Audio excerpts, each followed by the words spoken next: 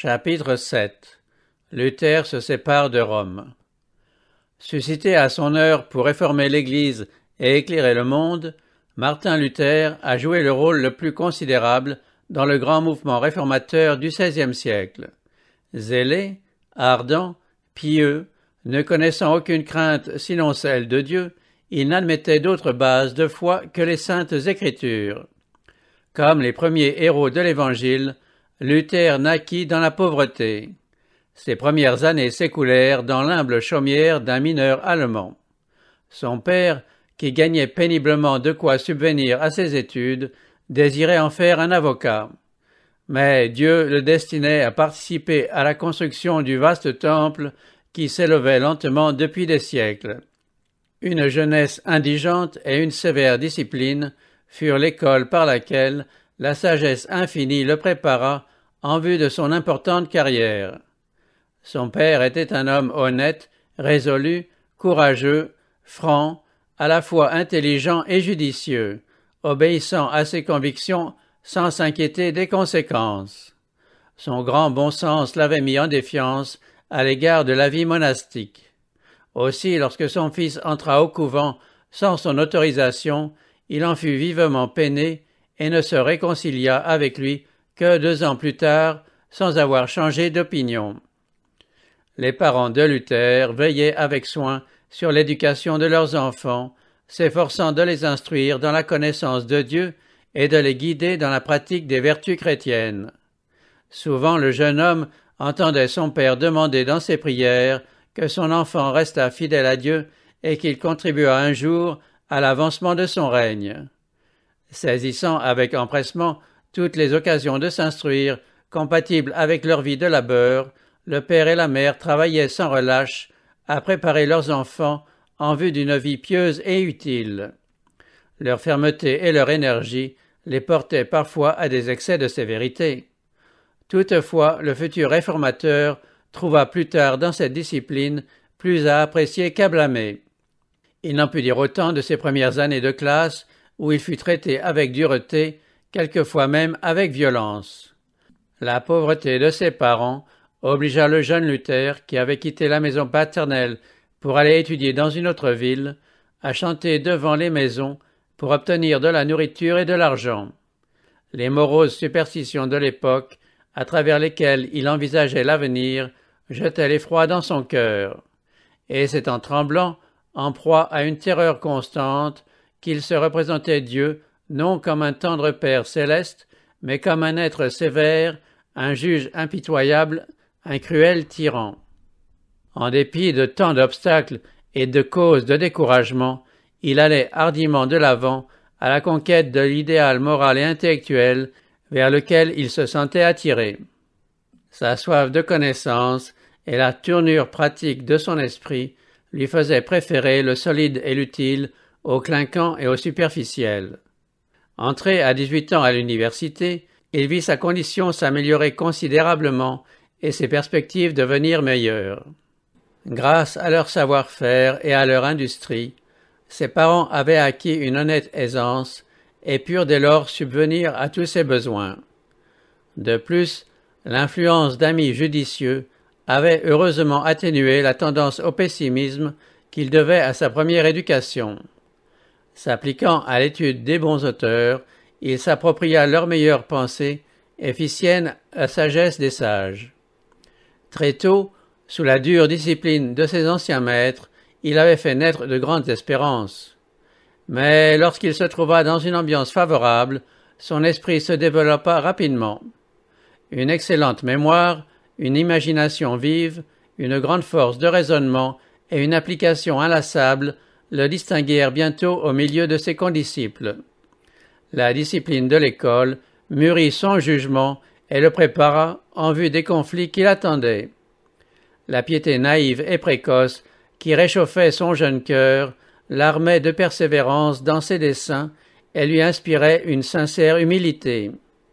Constamment conscient de son besoin des directions et du secours d'en haut, il commençait chacune de ses journées par la prière et vivait dans une attitude d'intercession.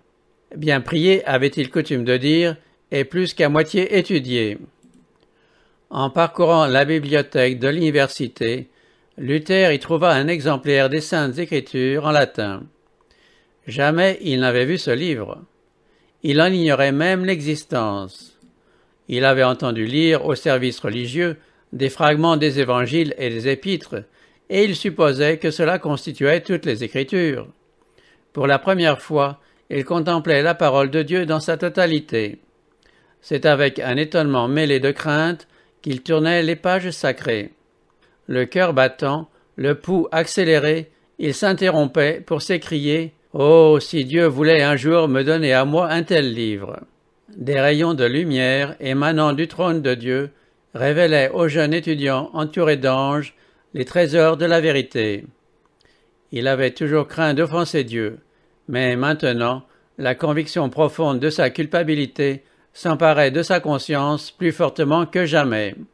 Son désir de s'affranchir du péché et de trouver la paix avec Dieu devint si impérieux qu'il finit par se décider à entrer dans un couvent.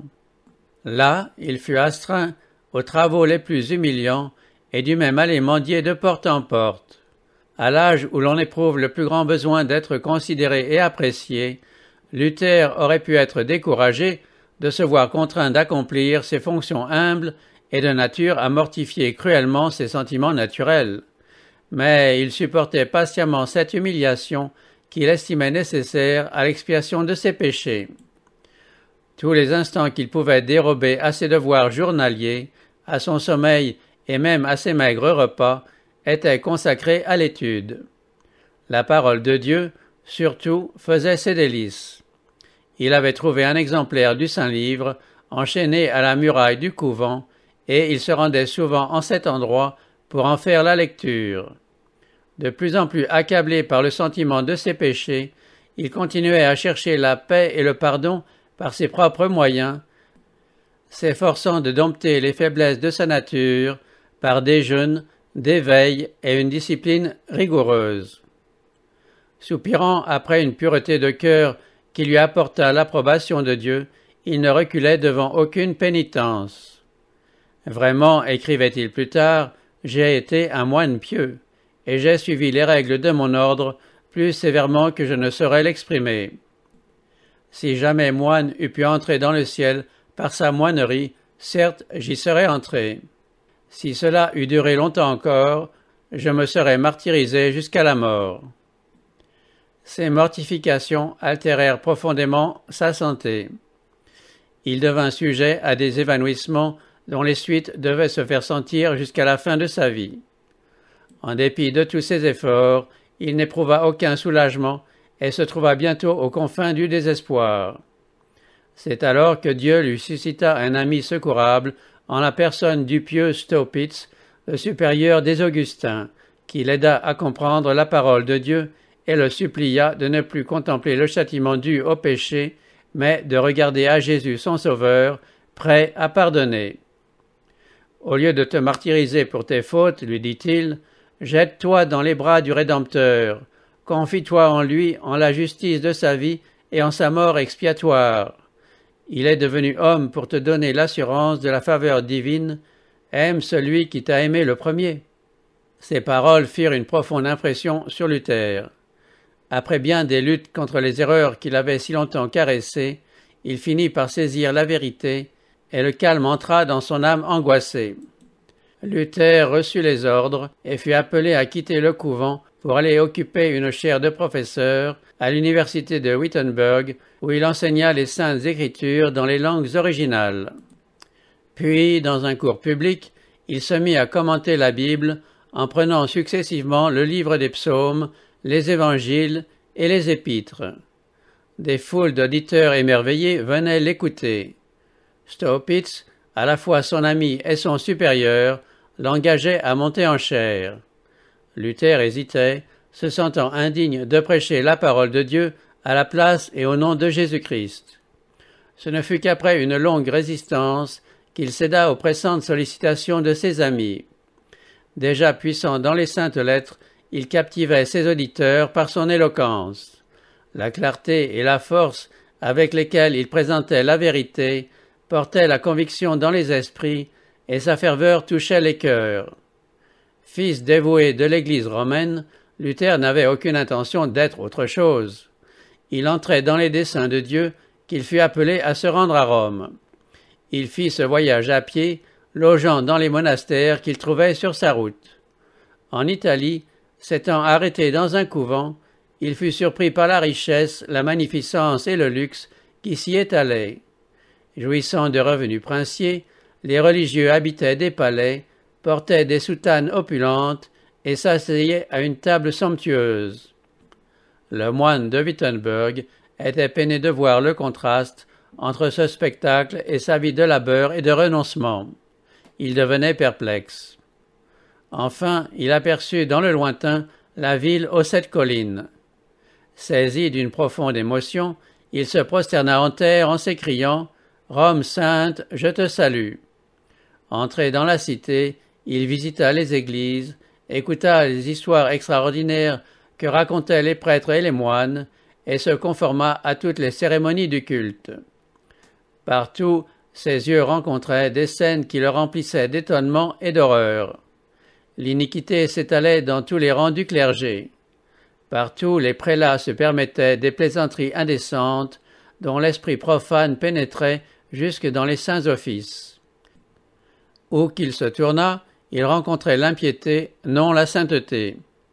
On ne saurait croire les péchés et les actions infâmes qui se commettent dans Rome, écrivait-il.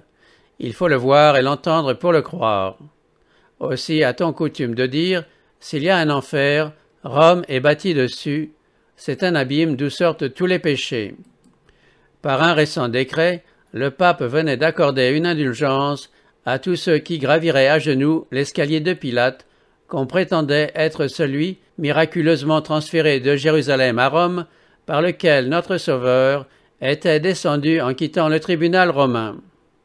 Luther en faisait dévotement l'ascension quand, tout à coup, la parole du prophète Habacuc, que Paul a répétée, retentit dans son cœur comme un tonnerre. Le juste vivra par la foi. Se relevant brusquement, il s'éloigna honteux et bouleversé. Cette parole impressionna toujours son âme. Dès ce moment, il vit plus clairement que jamais combien il est erroné de chercher le salut dans les œuvres. Il comprit aussi la nécessité de la foi au mérite de Jésus-Christ. Ses yeux étaient dessillés, et cela pour toujours, sur les égarements de la papauté. En détournant son visage de la ville de Rome, il en avait détourné son cœur, et à partir de ce jour, l'abîme qui l'en séparait devait aller en s'élargissant jusqu'à la séparation complète. À son retour de la ville éternelle, Luther reçut de l'université de Wittenberg le grade de docteur en théologie. Il pouvait désormais se consacrer plus que jamais à l'étude des saintes écritures qu'il chérissait. Il avait fait le vœu solennel d'étudier avec soin et de prêcher fidèlement tous les jours de sa vie la parole de Dieu et non les décisions et les doctrines des papes. Il n'était plus simplement moine ni professeur, mais héros autorisé des livres saints. Appelé à être berger du troupeau de Dieu, d'un troupeau ayant faim et soif de vérité, le nouveau docteur déclarait hautement que le chrétien ne peut recevoir d'autres doctrines que celles qui reposent sur les écrits sacrés. Cette affirmation s'appelle la suprématie du pape. Elle contenait le principe vital de la réforme. Voyant combien il est dangereux d'accorder plus de crédit aux théories humaines qu'à la parole de Dieu, Luther attaquait hardiment l'incrédulité spéculative des savants et combattait à la fois la philosophie et la théologie qui, en Europe, dominaient les esprits. Il dénonçait ces études non seulement comme inutiles, mais comme pernicieuses, et s'efforçait de détourner ses auditeurs des sophismes des docteurs pour attirer leur attention sur les vérités éternelles exposées par les prophètes et les apôtres. Les foules suspendues aux lèvres du jeune docteur entendaient un message d'une douceur inconnue. Jamais de telles paroles n'avaient encore frappé leurs oreilles. L'heureuse nouvelle de l'amour d'un sauveur, l'assurance du pardon et de la paix par la foi en son sang expiatoire, réjouissait les cœurs et y versait une espérance immortelle. La lumière qui brillait à Wittenberg devait rayonner jusqu'aux extrémités de la terre, et son éclat s'intensifier jusqu'à la fin des temps. Comme le conflit entre la lumière et les ténèbres est irréductible, ainsi il n'y a pas d'entente possible entre la vérité et l'erreur. Proclamer, établir l'une, c'est attaquer et renverser l'autre. Notre Sauveur a dit lui-même Je ne suis pas venu apporter la paix, mais l'épée.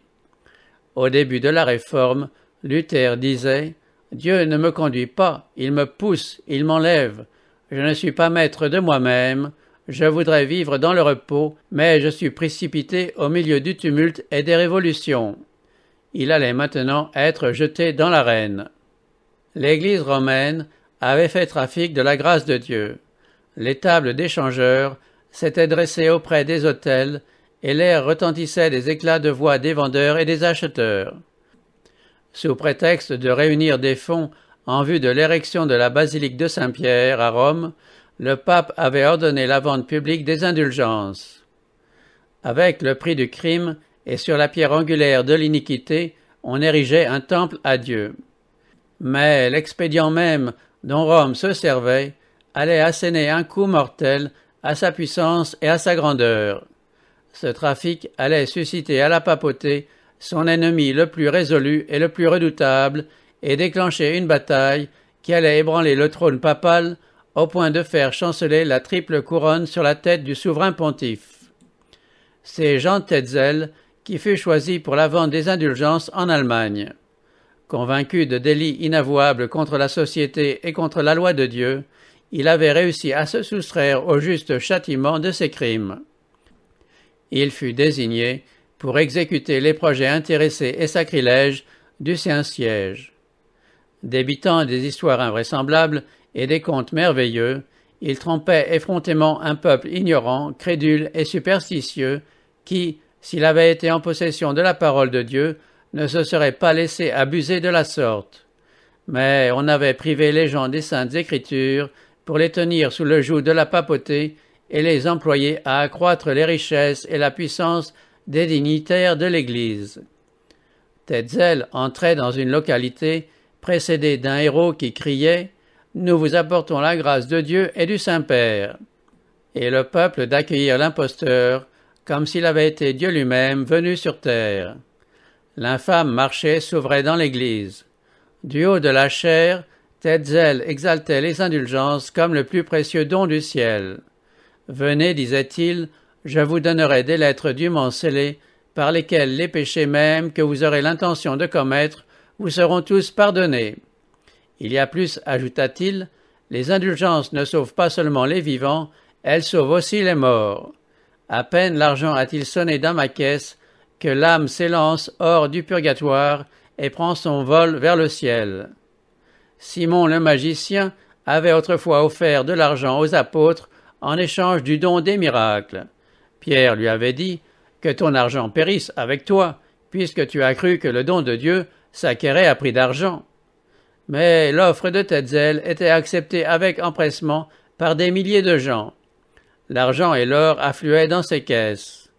Un salut à prix d'argent est plus facile à obtenir que celui qui exige la conversion, la foi et une lutte persévérante contre le péché. La doctrine des indulgences trouva cependant des contradicteurs dans l'Église romaine. C'étaient des hommes savants et pieux qui n'accordaient aucune confiance à des prétentions aussi contraires à la raison et à l'écriture. Mais aucun prélat n'osait élever la voix contre cet odieux trafic. Le malaise commençant à se faire sentir, plusieurs se demandaient avec angoisse si Dieu ne susciterait pas quelque instrument pour purifier son Église. Bien que Luther fût encore un fervent papiste, il était rempli d'horreur à louer des déclarations blasphématoires des marchands d'indulgence. Plusieurs de ses auditeurs, qui avaient acheté ses certificats de pardon, vinrent bientôt lui confesser leurs divers péchés et lui en demander l'absolution, non pas qu'ils en eussent des remords sincères, mais uniquement en vertu de leurs indulgences. Luther la leur refusa, et leur déclara tout net que sans repentance et sans conversion, ils périraient dans leurs péchés. Très perplexes, ces gens se hâtèrent de retourner vers Tetzel pour l'informer qu'un moine augustin ne faisait aucun cas de ces lettres de pardon. »»« quelques-uns même demandaient hardiment le remboursement de leur argent. À cette nouvelle, Tetzel rugit de colère et se livra en chair à de terribles imprécations. À plusieurs reprises, il fit allumer un feu sur la grande place en déclarant qu'il avait reçu du pape l'ordre de brûler tous les hérétiques qui oseraient s'élever contre ces très saintes indulgences. Luther entra alors résolument dans la lice comme champion de la vérité. Montant en chair, il fit entendre de solennels avertissements. Mettant en relief la nature odieuse du péché, il affirma qu'il est impossible à l'homme, par ses propres efforts, d'atténuer sa culpabilité ou d'éluder le châtiment de Dieu. Seule la repentance et la foi en Jésus-Christ peuvent sauver le pécheur. La grâce, don gratuit de Dieu, ne s'obtenant pas à prix d'argent, Luther conseillait à ses auditeurs non d'acheter des indulgences, mais de compter avec foi sur un sauveur crucifié. Relatant sa douloureuse recherche du salut par les humiliations et les pénitences, il les assura qu'il n'avait trouvé paix et joie qu'en détachant ses regards de ses propres mérites pour les porter sur Jésus-Christ. Tetzel continuant son trafic, Luther résolut de protester énergiquement contre ces criants abus. Il en eut bientôt l'occasion. L'église du château de Wittenberg possédait plusieurs reliques qu'en certains jours de fête on exhibait aux yeux du peuple. Ces jours-là, une indulgence plénière était accordée à ceux qui, après avoir visité l'église, faisaient leur confession. L'affluence à ces fêtes était considérable. L'une des plus importantes, celle de la Toussaint, approchait. Le jour précédent, Luther, en présence d'une foule de fidèles, afficha sur la porte de l'église un placard portant quatre-vingt-quinze thèses contre la doctrine des indulgences. Ces thèses, il se déclarait prêt à les défendre le lendemain à l'université contre toute personne qui croirait devoir les attaquer. Ces propositions attirèrent l'attention générale. Elles furent lues, relues et répétées dans toute la région. Une grande agitation régnait à l'université et dans toute la ville. Ces thèses établissaient que le pouvoir de pardonner les péchés et d'en remettre la peine n'avait jamais été confié ni au pape ni à aucun homme. La vente des indulgences n'était qu'un moyen artificieux d'extorquer de l'argent, une exploitation de la crédulité publique, une ruse de Satan pour détruire les âmes. Luther y déclarait en outre que l'évangile du Christ est le trésor le plus précieux de l'Église, et que la grâce de Dieu qui s'y révèle est gratuitement accordée à quiconque la recherche par la conversion et la foi. Les thèses de Luther sollicitaient la contradiction, mais personne n'osa relever le défi. Ces propositions firent en quelques jours le tour de l'Allemagne et en quelques semaines celui de la chrétienté.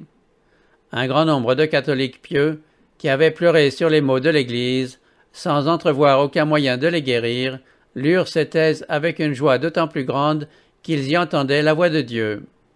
Ils eurent l'impression que le Seigneur était finalement intervenu pour arrêter le flot montant de la corruption. Des princes et des magistrats se réjouirent secrètement de ce qu'un frein allait être mis à la puissance arrogante qui daignait au monde le droit d'en appeler à ses décisions. En revanche, les foules attachées au péché et à la superstition furent terrifiées en voyant réduits en poussière les sophismes qui avaient calmé leurs craintes transportés de colère, de rusée ecclésiastique, furieux de voir leur connivence avec le mal dénoncée et leur profit menacé, s'unir pour soutenir leur cause. Le réformateur dut faire face à de violents accusateurs. Les uns lui reprochaient d'avoir agi par impulsion et d'être non dirigé par Dieu, mais poussé par l'orgueil et la présomption. Qui ne sait, répondait-il, que l'on met rarement une idée nouvelle en avant sans être accusé d'orgueil et de chercher des querelles. Jésus-Christ et tous les martyrs n'ont-ils pas été mis à mort comme contempteurs de la sagesse du temps, et pour avoir avancé des nouveautés, sans prendre auparavant humblement conseil des organes de l'ancienne opinion? Il ajoutait, Ce que je fais s'accomplira non par la prudence des hommes, mais par le conseil de Dieu.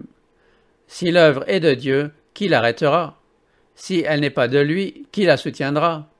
Non pas ma volonté, ni la leur, ni la nôtre, que ta volonté se fasse, ô Père Saint qui est dans le ciel. Bien qu'il eût été poussé par l'Esprit de Dieu à entreprendre sa tâche, Luther ne put la poursuivre sans avoir à livrer de rudes combats. Le dénigrement, la calomnie de ses intentions immobiles, les insinuations perfides sur son caractère fondirent sur lui comme un torrent débordé et ne furent pas sans effet. Il avait cru que les conducteurs du peuple, tant dans l'Église que dans les écoles, se joindraient à lui dans une œuvre de réforme. Les encouragements qui lui étaient venus de la part de personnages influents l'avaient rempli de joie et d'espérance. Il voyait déjà par anticipation se lever des jours meilleurs pour l'Église. Mais aux encouragements avaient succédé les incriminations et les dénonciations. Plusieurs dignitaires de l'Église et de l'État, convaincus de la rectitude des thèses, ne tardèrent pas à s'apercevoir que leur acceptation entraînerait de grandes transformations. Éclairer et réformer le peuple, c'était virtuellement saper l'autorité du pape, tarir des milliers de ruisseaux qui alimentaient ses trésors, et réduire considérablement l'extravagance et le luxe des chefs de l'Église. De plus, donner au peuple la liberté de penser et d'agir, en être responsable, ne comptant pour leur salut que sur Jésus-Christ, c'était renverser le trône pontifical et éventuellement détruire leur propre autorité. Pour ces raisons, ils repoussèrent la connaissance que Dieu leur envoya, et en s'opposant à l'homme qu'il avait désigné pour les éclairer, ils se dressèrent contre le Christ et contre sa vérité. Lorsqu'il pensait à lui-même, Luther tremblait de se voir dressé seul en face des plus grandes puissances de la terre. Il se demandait parfois si c'était bien Dieu qui l'avait poussé à résister à l'autorité de l'Église. Qui étais-je alors s'écrit-il, moi, pauvre, misérable, méprisable frère, plus semblable à un cadavre qu'à un homme, qui étais-je pour m'opposer à la majesté du pape devant laquelle tremblaient les rois de la terre et le monde entier? Personne ne peut savoir ce que mon cœur a souffert dans ces deux premières années et dans quel abattement, je pourrais dire dans quel désespoir, j'ai souvent été plongé. Mais Dieu ne le laissa pas sombrer dans le découragement. Les appuis humains lui faisant défaut, il regarda à Dieu seul et apprit à se reposer en toute sécurité sur son bras puissant. Luther écrivait à un ami de la Réforme Il est très certain qu'on ne peut parvenir à comprendre les Écritures ni par l'étude ni par l'intelligence. Votre premier devoir est donc de commencer par la prière. Demandez au Seigneur qu'il daigne vous accorder en sa grande miséricorde la véritable intelligence de sa parole. Il n'y a point d'autre interprète de la parole de Dieu que l'auteur même de cette parole, selon ce qu'il a dit, ils seront tous enseignés de Dieu. N'espérez rien de vos travaux, rien de votre intelligence. Confiez-vous uniquement en Dieu et en l'influence de son esprit. Croyez-en un homme qui en a fait l'expérience. Il y a là un enseignement vital pour toute personne qui se sent appelée de Dieu à présenter au monde les vérités solennelles relatives à notre temps. Ces vérités provoqueront l'inimitié de Satan et celle des hommes qui aiment l'erreur. Dans le conflit avec les puissances du mal, il faut plus qu'une haute intelligence et une sagesse purement humaine. Quand ses ennemis en appelaient aux usages et à la tradition, aux déclarations et à l'autorité du pape, Luther leur répondait par les Écritures et les Écritures seules. Il trouvait là des arguments irréfutables. Aussi, les suppôts du formalisme et de la superstition demandaient-ils son sang comme les Juifs avaient réclamé celui de Jésus. C'est un crime de haute trahison contre l'Église, disaient les zélateurs de Rome, que de laisser vivre une heure de plus un si horrible hérétique, qu'on lui dresse à l'instant même un échafaud. Mais Luther ne fut pas victime de leur fureur.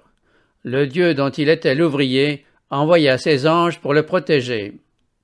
En revanche, plusieurs de ceux qui avaient reçu de lui la lumière furent les objets de la haine de Satan et endurèrent courageusement la souffrance et la mort pour l'amour de la vérité. Les enseignements de Luther retenaient dans toute l'Allemagne l'attention des hommes réfléchis.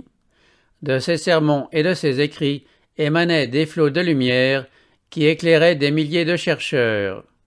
Une foi vivante se substituait au formalisme qui enchaînait l'Église et abattait les superstitions de Rome. Les préjugés tombaient. La parole de Dieu, à laquelle Luther soumettait toute doctrine et toute prétention, était une épée à deux tranchants qui pénétrait dans les cœurs. Partout se manifestait le désir de progresser dans la vie spirituelle. De toutes parts, on constatait une faim et une soif de justice qu'on n'avait pas vues depuis des siècles. Les regards du peuple, si longtemps fixés sur des rites et des médiateurs humains, se tournaient maintenant, suppliants et enthousiastes, vers le Christ crucifié. Cet intérêt général aviva les craintes des autorités de l'Église romaine. Luther fut sommé de se rendre à Rome pour y répondre de l'accusation d'hérésie. Cette sommation terrifia ses amis. Connaissant trop bien les dangers auxquels il serait exposé dans cette ville corrompue, déjà ivre du sang des martyrs de Jésus, ils protestèrent contre son départ et demandèrent qu'il fût jugé en Allemagne. Cette proposition finit par être agréée et un légat fut désigné pour diriger le procès. Dans les instructions que le pape lui donnait, le légat avait ordre de poursuivre et de contraindre sans aucun retard le dit Luther, qui a déjà été déclaré hérétique. S'il persiste dans son opiniâtreté, ajoutait le pape, et que vous ne puissiez vous rendre maître de lui, nous vous donnons le pouvoir de le proscrire dans tous les lieux de l'Allemagne, de bannir, de maudire, d'excommunier tous ceux qui lui sont attachés, et d'ordonner à tous les chrétiens de fuir sa présence. En outre, pour assurer l'extirpation complète de cette hérésie, le pape ordonnait d'excommunier, quelle que fût leur dignité dans l'Église ou dans l'État, l'empereur excepté, toutes les personnes qui refuseraient d'arrêter Luther ou ses adhérents pour les livrer à la vindicte de Rome. Ici se révélait le véritable esprit de la papauté. Dans tout ce document, aucune trace de christianisme ou même de justice élémentaire. Luther était à une grande distance de Rome. Il n'avait eu aucune occasion de s'expliquer. Pourtant, sans enquête aucune, il était déclaré hérétique. En un même jour, il devait être exhorté, accusé, jugé et condamné. Et tout cela par celui qui se disait le Saint-Père, l'autorité unique, suprême et infaillible, tant dans l'Église que dans l'État. À ce moment-là, alors que Luther avait particulièrement besoin de conseils et de sympathie, Dieu envoya Mélenchon à Wittenberg. Sa jeunesse, sa modestie, sa réserve, la sûreté de son jugement et la profondeur de sa science, jointes à une éloquence persuasive, comme à une pureté et à une droiture de caractère notoire, lui avaient acquis l'admiration et l'estime générale. L'éclat de ses talents n'était égalé que par sa douceur et son affabilité. Il ne tarda pas à devenir un fervent disciple de l'Évangile, ainsi que le partisan et l'ami le plus sûr de Luther.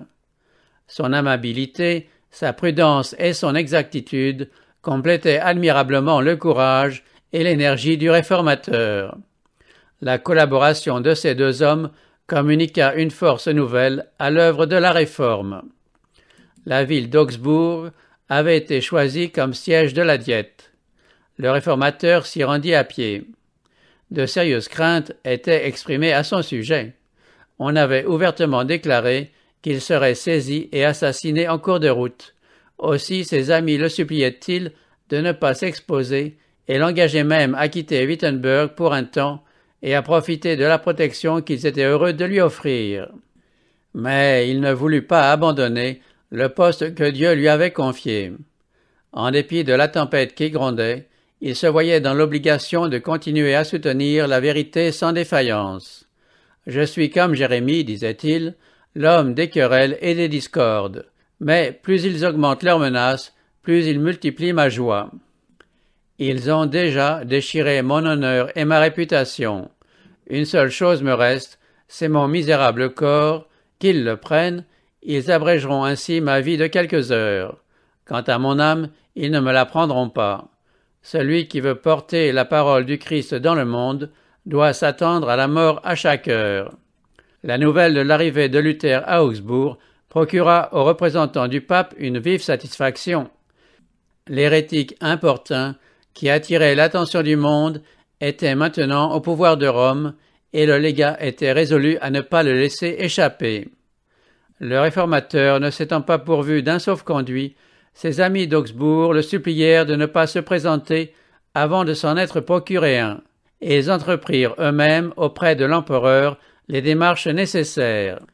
De son côté, l'intention du légat était, si possible, d'arracher à Luther une rétractation et dans le cas où il échouerait, de le conduire à Rome pour lui faire subir le sort de Hus et de Jérôme à Constance. Par ses émissaires, il engagea Luther à se confier en sa clémence et à se présenter devant lui sans sauf-conduit. Le réformateur s'y refusa, ne voulant paraître devant l'ambassadeur du pape qu'en possession d'un document lui garantissant la protection de l'empereur. Le plan des romanistes était de gagner Luther par une apparente bienveillance. Dans ses entrevues avec lui, le légat, tout en manifestant une grande amabilité, exigea qu'il se soumît implicitement et sans discussion à l'autorité de l'Église. Il ne connaissait pas encore l'homme en présence duquel il se trouvait.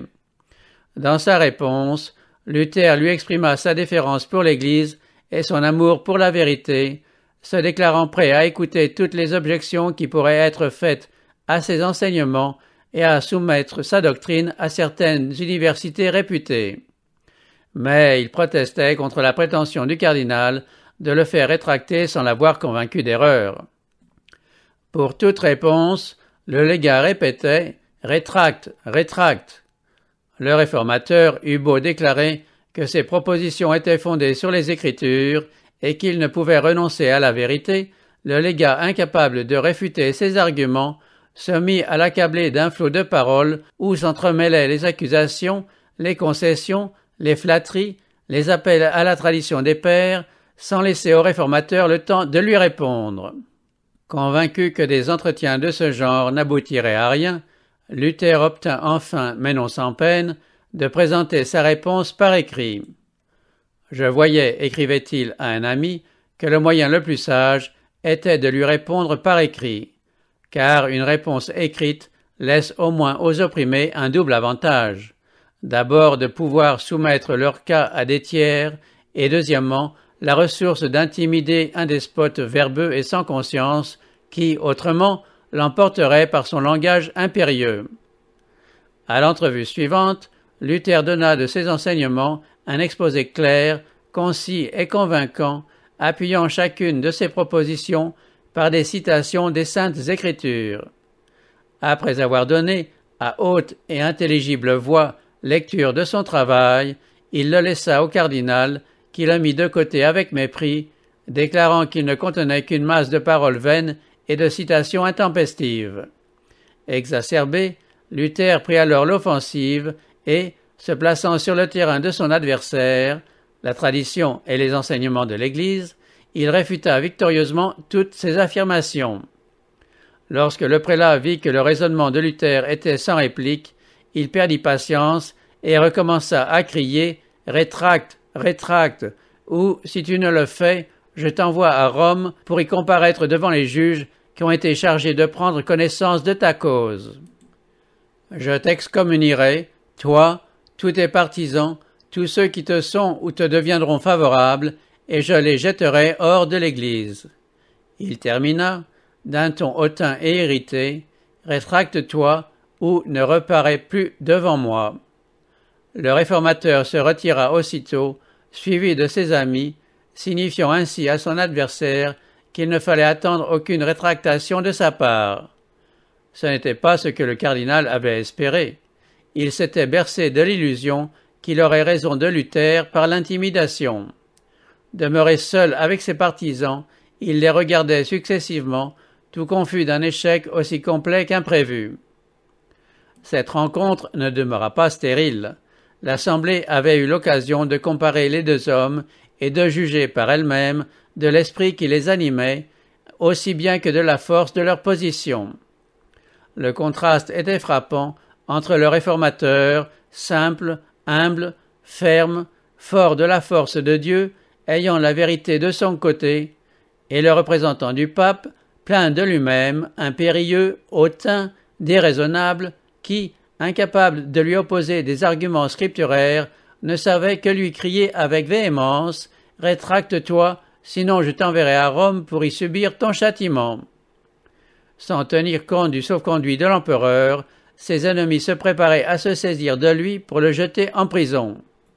D'autre part, ses amis lui représentaient que sa présence à Augsbourg étant désormais inutile, il devait rentrer à Wittenberg sans délai, avec les plus grandes précautions et dans le plus grand secret. Au petit jour, à cheval, accompagné seulement d'un guide qui lui fut fourni par le magistrat, Luther quitta Augsbourg. Hanté par de sombres pressentiments, il cheminait en silence le long des rues obscures et silencieuses de la ville. Des ennemis vigilants et cruels conspiraient sa perte. Échapperait-il au piège tendu sous ses pas? Ce furent des minutes d'anxiété, mais aussi de ferventes prières. Arrivés près des murailles, les fugitifs virent une porte s'ouvrir devant eux. Ils passèrent sans encombre et pressèrent alors leur monture. Avant que le légat eût connaissance de la fuite de Luther, celui-ci se trouvait hors d'atteinte. Les projets de Satan et de ses émissaires étaient déjoués. L'homme qu'il croyait en leur pouvoir s'était évadé, l'oiseau avait échappé au piège de l'oiseleur. À cette nouvelle, le légat fut consterné. Il avait compté sur de grands honneurs en retour de la sagesse et de la fermeté dont il pensait avoir fait preuve à l'égard de ce contempteur de l'Église. Or, ses espérances étaient frustrées. Il donna libre cours à sa rage dans une lettre à l'électeur de Saxe, où il accusait amèrement le réformateur et exigeait que Frédéric envoyât celui-ci à Rome ou l'expulsât de la Saxe. L'électeur ne possédait alors qu'une connaissance bien superficielle de la doctrine réformée, mais il était impressionné par la loyauté, la force et la clarté des paroles de Luther. Aussi, Frédéric résolut-il de protéger le réformateur tant qu'il n'aurait pas été convaincu d'erreur. Dans sa défense, Luther avait en effet demandé que le légat ou le pape lui démontrât ses erreurs par les Écritures, s'engageant solennellement à renoncer à sa doctrine si elle était en conflit avec la parole de Dieu. L'électeur écrivit donc au légat Puisque le docteur Martin a comparu devant vous à Augsbourg, vous devez être satisfait nous ne nous étions pas attendus que, sans l'avoir convaincu, vous prétendiez le contraindre à se rétracter. Aucun des savants qui se trouvent dans nos principautés ne nous a dit que la doctrine de Martin fut impie, antichrétienne et hérétique. Le prince refusa en outre d'envoyer Luther à Rome ou de le chasser de ses États. Les lecteurs constataient d'ailleurs que l'affaiblissement général de la moralité dans la société exigeait une grande œuvre de réforme. Il comprenait que toute l'organisation civile compliquée et onéreuse, destinée à restreindre et à punir le crime, deviendrait inutile si chacun reconnaissait les droits de Dieu et suivait les directions d'une conscience éclairée. Il voyait que les travaux de Luther visaient à cela, et il éprouvait une joie secrète à la pensée qu'une influence meilleure commençait à se faire sentir dans l'Église. Les lecteurs constataient en outre le plein succès de l'enseignement de Luther à l'université. Une année seulement s'était écoulée depuis que le réformateur avait affiché ses thèses à la porte de l'église du château. Mais le nombre des pèlerins qui la visitaient à la Toussaint avait déjà sensiblement diminué. Rome avait perdu des adorateurs et des offrandes, mais ceux-ci étaient remplacés par les étudiants en quête de science qui venaient remplir les auditoires de Wittenberg. Les écrits de Luther avaient suscité en tout lieu le désir d'étudier les Écritures, et ce n'était pas seulement de toutes les parties de l'Allemagne que les étudiants accouraient, mais aussi des pays voisins. Au moment où ils découvraient dans le lointain les clochers de cette ville, ces jeunes gens s'arrêtaient et élevaient les mains vers le ciel, louant Dieu de ce qu'il y faisait luire, comme autrefois de Sion, la lumière de la vérité pour l'envoyer jusqu'aux contrées les plus éloignées. Luther n'avait encore que partiellement abandonné les erreurs du romanisme. Une comparaison des décrets et des constitutions de Rome avec les saintes écritures le jetait dans la plus profonde stupéfaction. Je lis les décrets des pontifes, écrivait-il à Spalatin, et, je te le dis à l'oreille, je ne sais pas si le pape et l'antéchrist lui-même ou s'il est son apôtre, tellement Jésus y est dénaturé et crucifié. Pourtant, Luther était encore un fils docile de l'Église romaine, et la pensée de se séparer de sa communion n'avait pas encore affleuré son esprit. Les écrits et la doctrine du réformateur s'étaient répandus dans toute la chrétienté. Leur influence se manifestait en Suisse et en Hollande. Des exemplaires de ces écrits avaient passé en France et en Espagne. En Angleterre, ces enseignements étaient reçus comme la parole de vie. La vérité avait aussi pénétré en Belgique et en Italie.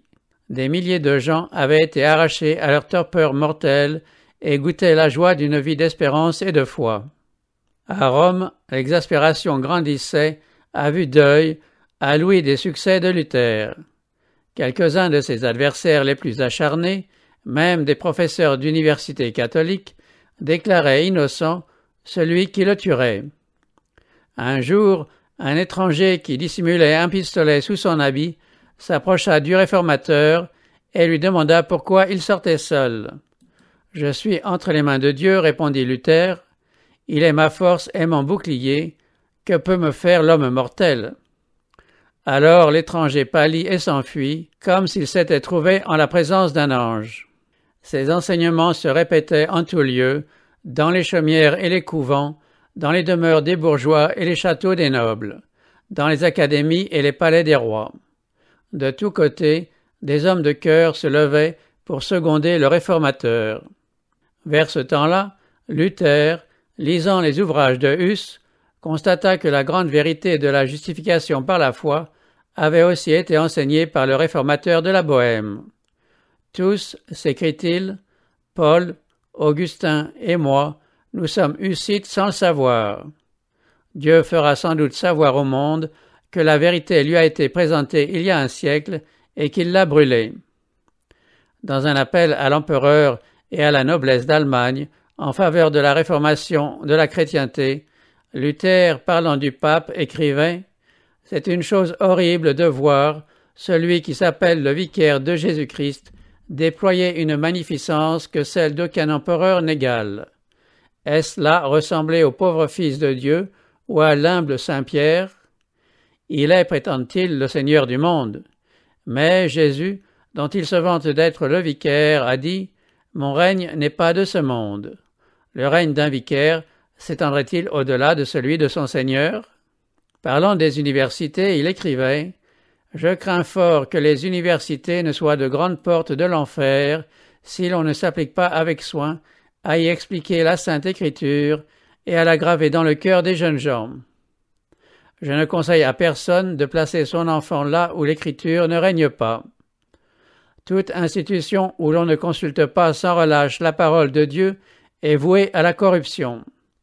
Cet appel, qui eut un immense retentissement, ne tarda pas à se répandre dans toutes les parties de l'Allemagne. La nation entière en fut émue, et des foules se rallièrent sous les étendards de la Réforme. Brûlant du désir de se venger, les ennemis de Luther pressaient le pape de prendre contre lui des mesures décisives. Il fut décrété que sa doctrine serait immédiatement condamnée. Soixante jours lui furent donnés à lui et à ses adhérents pour se rétracter ou, en cas de refus, être excommuniés. Ce fut une épreuve terrible pour la réforme. Pendant des siècles, les foudres de l'excommunication avaient frappé de terreur les plus puissants souverains, plongeant de grands empires dans le malheur et la désolation. Ceux qui en étaient les objets étaient regardés avec horreur. Traités en parias, ils étaient retranchés de la communion de leurs semblables, traqués et mis à mort. Luther ne fermait pas les yeux sur la tempête qui grondait sur sa tête, mais il demeurait ferme, assuré que Jésus-Christ serait son défenseur et son bouclier. Animé de la foi et du courage d'un martyr, il écrivait Que va-t-il arriver, je l'ignore. Où que ce soit que le coup frappe, je suis sans crainte. Une feuille d'arbre ne tombe pas sans la volonté de notre Père. Combien moins nous-mêmes. C'est peu de chose que de mourir pour la parole, puisque cette parole qui s'est incarnée pour nous est morte d'abord elle-même. Si nous mourons avec elle, nous ressusciterons avec elle. Passant par où elle a passé, nous arriverons où elle est arrivée, et nous demeurerons près d'elle pendant toute l'éternité. En recevant la bulle, Luther s'écria je la méprise et l'attaque comme impie et mensongère. C'est Jésus-Christ lui-même qui y est condamné. Je me réjouis d'avoir à supporter quelques mots pour la meilleure des causes. Je sens déjà plus de liberté dans mon cœur, car je sais enfin que le pape est l'antéchrist et que son siège est celui de Satan. Le document papal ne resta pas sans effet. La prison, l'épée, la torture étaient des moyens employés pour imposer l'obéissance.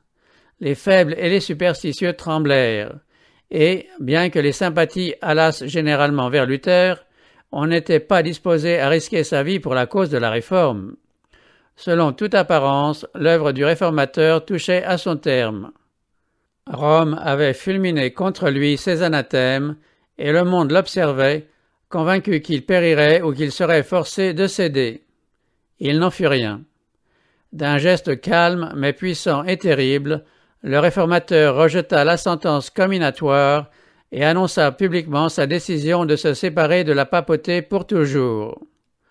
En présence d'une foule composée d'étudiants, de docteurs et de citoyens de tout rang, il livra au feu la bulle du pape, des exemplaires du droit canon, des décrétales et d'autres écrits soutenant le pouvoir papal. Mes ennemis, dit-il, ont pu, en brûlant mes livres, nuire à la vérité dans l'esprit du commun peuple et perdre des âmes. En retour, je consume leurs livres. Jusqu'ici, je n'ai fait que badiner avec le pape, mais une lutte sérieuse vient de s'ouvrir. J'ai commencé cette œuvre au nom de Dieu, elle se finira par sa puissance et sans moi. À ses ennemis, qui méprisaient sa cause en raison de sa faiblesse, Luther répondait Qui sait si ce n'est pas Dieu qui m'a choisi et appelé, et s'ils ne doivent pas craindre en méprisant de mépriser Dieu lui-même. Moïse était seul à la sortie d'Égypte, Élie seul au temps du roi Akab, Ésaïe seul à Jérusalem, Ézéchiel seul à Babylone. Dieu n'a jamais choisi pour prophète ni le souverain sacrificateur, ni quelque autre grand personnage. Ordinairement, il a choisi des personnes basses et méprisées, une fois même le berger Amos. En tout temps, les saints ont dû reprendre les grands, les rois, les princes, les prêtres, les savants, au péril de leur vie. Je ne dis pas que je sois un prophète, mais je dis qu'ils ont lieu de craindre précisément parce que je suis seul et qu'ils sont nombreux. Ce dont je suis certain, c'est que la parole de Dieu est avec moi et qu'elle n'est point avec eux. Pourtant, ce ne fut pas sans une lutte terrible que Luther se résigna à se séparer de l'Église. C'est vers ce temps-là qu'il écrivait Je sens mieux chaque jour combien il est difficile de se dégager de scrupules que l'on a cultivés dès son enfance. Oh, qu'il m'en a coûté, bien que les Écritures fussent pour moi, de prendre position contre le pape et de le dénoncer comme l'Antichrist. Combien grandes ont été les angoisses de mon cœur, combien de fois me suis-je posé, dans l'amertume de mon âme, cette question qui est sans cesse sur les lèvres des papistes. Es-tu le seul sage? Tout le reste du monde est-il depuis si longtemps dans l'erreur? Et si, après tout, c'était toi qui te trompais? Si tu étais la cause que beaucoup d'âmes, égarées par toi, seront éternellement perdues. C'est ainsi que j'ai tremblé, jusqu'à ce que Jésus-Christ, par sa parole infaillible, eût fortifié mon âme. Le pape avait menacé Luther de l'excommunication s'il ne se rétractait pas. Cette menace allait maintenant devenir une réalité. Une nouvelle bulle parut qui déclarait Luther séparé de l'Église et maudit du ciel. Tous ceux qui recevaient sa doctrine étaient englobés dans cette condamnation, un grand conflit était engagé. Être en but à l'opposition est le sort de tous ceux dont Dieu se sert pour annoncer des vérités spécialement applicables à leur temps. Or, il y avait au jour de Luther une vérité présente d'une importance capitale, de même qu'il y a une vérité présente pour notre époque. Celui qui gouverne le monde, selon les conseils de sa volonté, a jugé bon de susciter des hommes auxquels il confie un message spécialement destiné au temps où ils vivent et adapté aux conditions dans lesquelles ils sont placés. Si ces hommes apprécient la lumière qui leur est offerte, des horizons plus vastes s'ouvriront devant eux. Mais la majorité des gens n'apprécient pas plus la vérité aujourd'hui que les partisans du pape au temps de Luther. comme dans les siècles passés, on est enclin à suivre les théories et les traditions des hommes plutôt que la parole de Dieu. Il ne faut pas que ceux qui présentent la vérité pour notre époque s'attendent à être accueillis avec plus de faveur que les réformateurs des temps passés. La grande lutte entre la vérité et l'erreur, entre le Christ et Satan, augmentera d'intensité jusqu'à la fin de l'histoire du monde. Jésus a dit à ses disciples, Si vous étiez du monde, le monde aimerait ce qui est à lui. Mais parce que vous n'êtes pas du monde, et que je vous ai choisi du milieu du monde, à cause de cela le monde vous hait. Souvenez-vous de la parole que je vous ai dite, le serviteur n'est pas plus grand que son maître, s'ils m'ont persécuté, ils vous persécuteront aussi. S'ils ont gardé ma parole, ils garderont aussi la vôtre. D'autre part, le Seigneur dit positivement, Malheur lorsque tous les hommes diront du bien de vous, car c'est ainsi qu'agissait leur Père à l'égard des faux prophètes. La concorde entre l'Esprit du Christ et l'Esprit du monde n'existe pas plus maintenant qu'autrefois, et ceux qui annoncent la parole de Dieu dans toute sa pureté ne seront pas plus favorablement accueillis aujourd'hui qu'alors.